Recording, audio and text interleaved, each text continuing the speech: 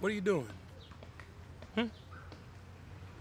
Why are you sitting here sucking on a juice box with me? You need to be with your lady. Go get her, man. Come on. It won't do any good. She's got it in her head that I'm leaving, and nothing I say or do is gonna change that. So Well, not leaving might help.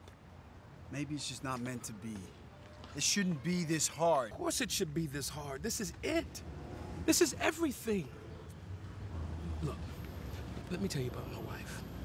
Because without her, nothing matters. Everything that happens to me in the day, good, bad, big, or small, it never happens until I tell her about it. It's how I make sense of the world, man. Do you understand that? You, you always asking me questions about the kids. Is it hard having kids? Forget the kids, man. This is about a woman. A woman sent from God above to save you from your lazy, pathetic self. Now get out of here before I call the cops and tell them there's a pervert in the playground. Come on.